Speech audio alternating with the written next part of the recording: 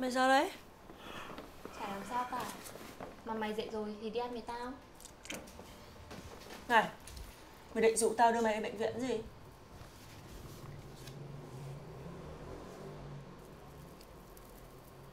Tao chưa đi đâu Mà để thi xong đã cho đỡ xui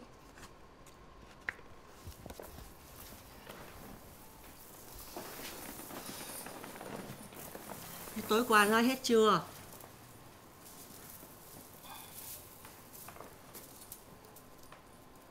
Đi ngủ à? Không. Tao không ngủ được. Thế dậy, tao tao đắp chân Mày xoa lưng cho tao. Tao tao mỏi lắm. Tối qua làm việc quá sức.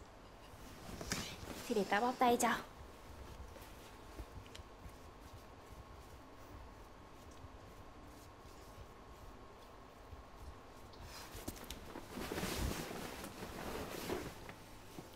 Bây giờ tao không được nằm sấp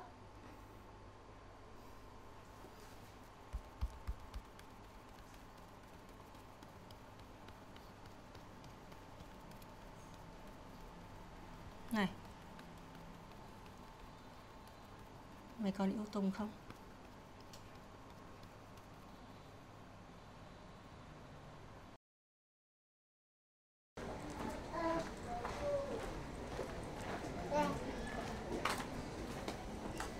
Tiền anh?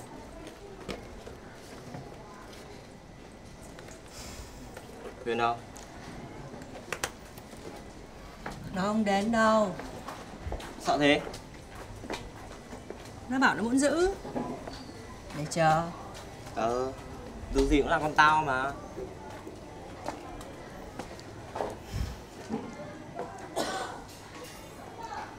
Tao sẽ xoay đủ tiền. Bao giờ xong? Sớm thôi. Mày nhớ chăm sóc Huyền cho tao nhá.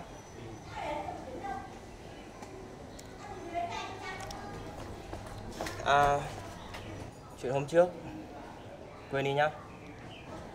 Quên rồi.